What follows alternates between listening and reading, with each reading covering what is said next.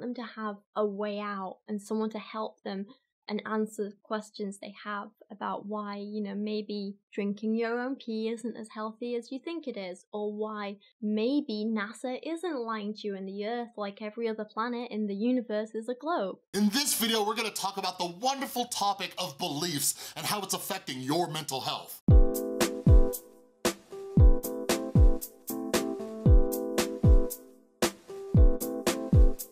What is up, everybody? This is Chris from The Rewired Soul, where we talk about the problem, but focus on the solution. And if you're new to my channel, my channel is all about mental health. And I try to pull different topics from the YouTube community to try to teach you lessons on how to improve your mental and emotional well-being.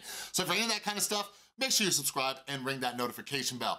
So I'm happy. I'm in a great mood. Like this morning I was thinking, I'm like, man, I've touched on some like I don't know, different topics. Like my last video was about like anger management and I talked about Bobby Burns the other day and toxic friends. And I'm like, I want more of like an uplifting type video. And my girl Rachel Oates came through today and she is literally one of my favorite YouTubers and this video that she just made about uh, changing the way people think or their beliefs or whatever is now my new favorite video of hers. So like, I will link to her video down in the description. Like, if you don't know about her channel, like, it's it's a very interesting channel. It's a great channel. Like, she she she seems like really cool like she like i get like the way she thinks and like this video like solidified that but anyway she's like really into books she talks about um things like atheism on there science she's very smart intelligent young woman like she talks about a lot of really interesting topics. She also does some like makeup stuff on there, different book reviews, and uh, and yeah, and I joked with her the other day because she got some backlash from the community um, that drinks their own pee, and yeah, she was just laying down some science, but I'm gonna talk about that a little bit in this video. But anyways, go check her channel out. She's awesome. Like, even if you're not an atheist, like, I think it's good to just kind of get more of a, a, view on things and actually I'm gonna shut up because that's actually some stuff I'm gonna be talking about in this video. So yeah, basically in her video, which you need to go watch, um, she just read a book and it, it's, it's interesting. I might actually go check that book out. I'm not really into fiction books, but I, I trust Rachel's recommendations. I actually need to finish one of the books she recommended a while ago, which was by, hold on, let me pull it up in my phone. It is How to Be Human, the manual uh, by Ruby Wax. So yeah, I'm in the middle of that book. I need to finish it. Anyways, anyways. Um, this book, it, it, had some interesting topics that Rachel, you know, was inspired by, and it's about like beliefs. Um, the book kind of talks about cults and things like that. So I wanna touch on some things that Rachel talked about because, you guys, beliefs are a huge part of mental health. Today, as I'm recording this, is actually November 6th, it's the midterm elections, and I saw people like, telling me they have anxiety today and all that stuff. So like, when it comes to beliefs, whether it's religious or political or your morals or whatever it is, like our beliefs affect our mental health. So we need to talk about it. You know, they're not the sorts of things that I talk about on a daily basis on my channel. But I do talk about people like the Pearls who give these really like harmful bits of marriage advice and, you know, harmful advice for hurting your children essentially um, I talk about people like Lori Alexander, the transformed wife, who is just very judgmental of everyone who isn't her, basically. Girl Defined are kind of the same. They're very judgmental of people who aren't living this perfect Christian life like they do. So when I first started watching like Rachel's video, like I, have seen the videos and the commentary she does on um, like the those those sisters, what are their name? Like Girl Defined or something like that. Those of you don't know that, they're like these two uh, young Christian women and stuff. And when Rachel was talking, like at first I was sitting there, I'm like, who cares? I'm like, like, if you believe in something, like, who cares? So I grew up here in Las Vegas, ton, a ton of Mormons here in Las Vegas. And I remember like looking at them and they were like, they were, they were happier than I was. Like there was no denying that they were happier than I was. But then Rachel talks about the point that I just showed you in that clip. Like, believe whatever you want. Like if you, if your kid wants to believe in Santa Claus, cool, right? But if like believing in Santa Claus might do harm to others, that's when we started gotta start looking at this stuff and saying, okay, are my beliefs inflicting harm on other people? And something that Rachel talks about throughout this video, which is something that we need to ask, is that a lot of our beliefs come from when we're kids, right? Like, let me just throw out an example for you real quick, all right? So like, my dad taught me how to be a man, right? And, you know, as I grew up, I'm doing things that are affecting me. And then when I sat back and got quiet and asked about my beliefs about being a man, a real man does this, a real man does that, a real man does this, I questioned, I'm like, wait, this was taught to me as a kid. Is it? Is there even a, is there even a chance that this might be wrong. And throughout this video, like, if you're somebody who's religious, I'm not asking you to like, you know, deny your faith or whatever, but I just love how Rachel like kind of gets your wheels turning because this is a huge part of what I'm talking about with meditation and mindfulness, just to kind of just question your own ways of thinking because our beliefs can kill us. I'm not saying that they're like just this lost cause and we should just completely give up talking to them or trying to get through to them and just let them harm themselves. That's not what I'm saying and that's not what I mean. I think I just realized that a lot of these people, they don't want to be saved or fixed or whatever, but also they don't think they need to be. They're very content living the life that they're living and and it's not that they don't see a way out, it's that they don't want a way out. They don't think they need it. Right here, Rachel's talking about like, are these people who believe in these things, are they lost causes, right? And Rachel also mentioned that, you know, she doesn't know the exact science behind it and stuff. And I DM'd Rachel, waiting for a reply back, but I recommended a book to her called The Moral Landscape by Sam Harris. So I think Rachel would love Sam Harris. Um, he has a book called The Moral Landscape, and one of the reasons that Sam Harris gets so much pushback is his views on Islam, which I will not touch with a 10-foot pole. But basically, in the book, the moral landscape. He talks about various religions, he talks about himself, but basically all what he's saying, what I got from his book is just kind of what Rachel was saying, like, it, it's an issue when your beliefs can hurt somebody, right? Like, for example, for example, like, let's look at, you know, September 11th, right? These beliefs, you know, killed a ton of people, right? Like, that's an issue. When you see what happens with you know, um, certain religions being against like homosexuality or whatever like it, that can harm people, all right? So that's kind of what Sam Harris talks about in The Moral Landscape. But anyways, Sam Harris is a neuroscientist as well, and he's one of the only people who has actually done neurological studies on like the science of belief, like what happens to our brains when we have a belief. So what they did was they hooked people up to fMRI brain scans to get like a real-time view of what their brains are doing. So what they found is when a person is thinking about something that they believe in, it affects the medial prefrontal cortex, okay?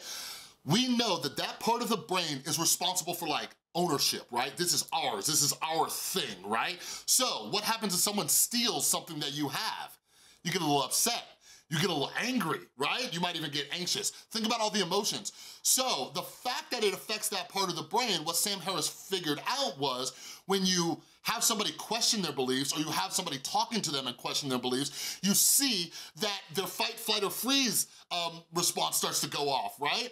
So this is why it's so difficult to change people's minds. So when like Rachel's asking like, are these people lost causes?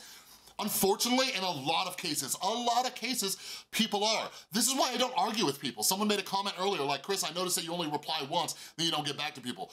One of the reasons is I don't get notifications, but the other thing is, most of the time I will only reply once. You know why?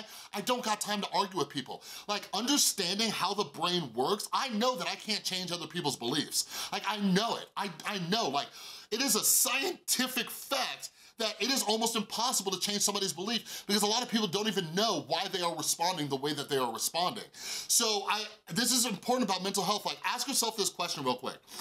How much anger or frustration have you had because someone in your life doesn't believe what you believe, right? Maybe this is right, this is wrong. Maybe you believe, you know, women should have equal rights and, you know, somebody who doesn't think that or, you know, maybe there's uh, things about immigration that you believe and somebody else believes something else, right? Like think about these debates and arguments and like, how do you get through to that person? How do you change it? Are you wasting time? Are you wasting effort? Like me, personally, like believe whatever you want. It's only an issue, like I said, when it begins to harm other people. Do you remember when one of them, I, I know it sounds horrible, I can never remember which one's which.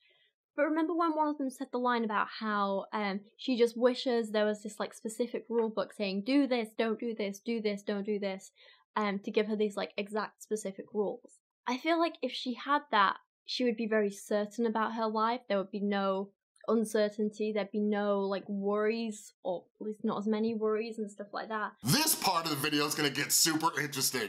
So Rachel is talking about Girl Defined Wishes like there was a specific rule book. And, and yeah, so a lot of you are newer to my channel, but I made a, a, video about Tristan and I are moving together and I do something every day and it's, uh, you know, my biggest secret that Tristan didn't even know about, and it's about my spirituality. And it's about how every single day I quote unquote pray in the shower, which is really more of a meditation. So just a little story about that, like Rachel's exactly right. Like people want this like defined rule book, right? They want to have answers because when we don't know that fear of the unknown, it makes us anxious. It can make us depressed. Like think about like nihilism and what's the meaning of all this, right? And when I started working on my mental health, like I had to believe in something, okay? So for me, my spirituality, it's not a religious spirituality, but I just believe that things are gonna work out the way they're supposed to work out. That's all that I believe, okay? Like that is the extent of my belief.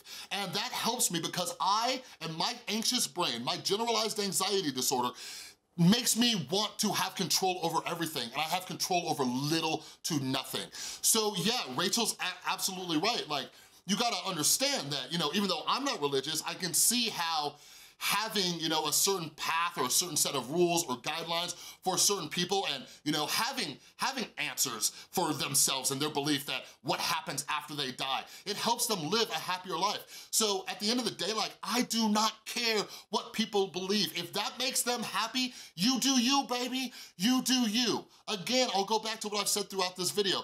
The only time I'm worried about someone's belief is when it brings harm to other people. And something that Rachel talks about throughout this video is that there are some people, not all people, but there are some people with religious beliefs where they like feel sorry for you, right? They think that you're suffering because you don't have their same beliefs.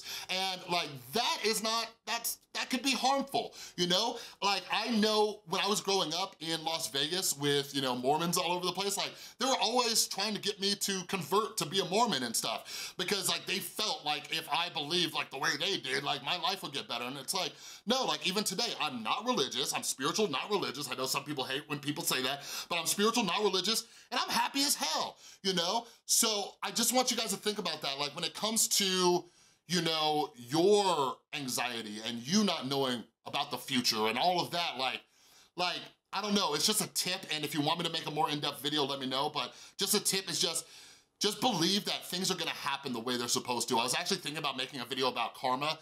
I mentioned in one of my other videos, like, if karma is the extent of your spirituality, go for it. If you only believe in the, like, believe in the, the idea that doing good things will bring good things and doing bad things will bring bad things, that's cool, you know? That gives you some kind of guiding force, all right? So then this kind of leads me back to this whole big question of, if I don't think I can get through to a lot of these people, and I know they're not even going to want to hear what I'm saying. Why do I make certain videos about, you know, debunking urine therapy, talking about why flat earthers are wrong. Why do I make videos saying how harmful certain Christian books are if they're not going to be listening to me? I guess it's not for the people who are deep into it and want to keep believing that stuff, and it's definitely not to try and insult them or make them feel uncomfortable. I guess the reason I make those videos and point out how certain actions are harmful and stuff is because I don't want other people, especially vulnerable people, to see what they're putting out and think that's the only option for them. Does that make sense? I want them to have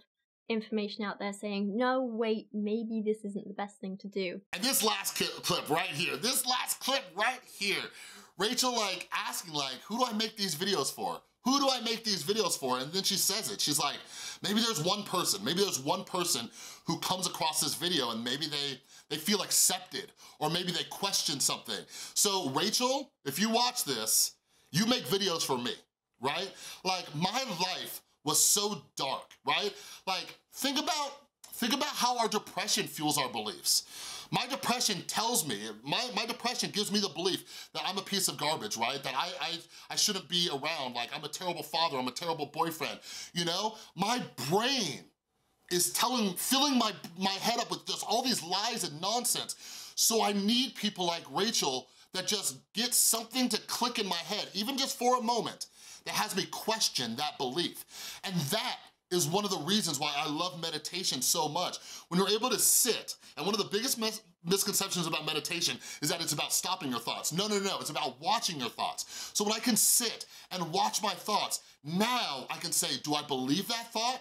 Or do I not believe that thought? And that's something that helps me get out of my depressive funks, that helps me quit being anxious. So thank, little, thank God for Rachel Oates because like, I know for a fact she's probably helped people. And like, that's one of the reasons I do this channel. I know I'm not gonna be able to help everybody with their mental or emotional well-being, but if I can just help one person, one person, maybe you're watching this and maybe you're questioning, wait, maybe I'm not a bad person. Boom, my job's done, you know? So Rachel, if you're watching this, keep doing your thing, girl, and reply to my DM. anyways, anyways, let me know down in the comments below, like, how do your beliefs affect your mental health? Or does it affect your mental health when you think you can change somebody else's beliefs? Like how often do you run into that brick wall, all right? So anyways, let's have a conversation down in the comments below, okay? But that's all I got for you with this video. If you like this video, please give it a thumbs up. If you're new, make sure you subscribe and ring that notification bell because I make a ton, a ton of videos. And a huge thank you to everybody supporting the channel over on Patreon. You are all amazing. And don't forget to go check out Rachel Oates' channel. I'm actually gonna link her video right over here, I think. All right, thanks again for watching. Question your beliefs, and I'll see you next time.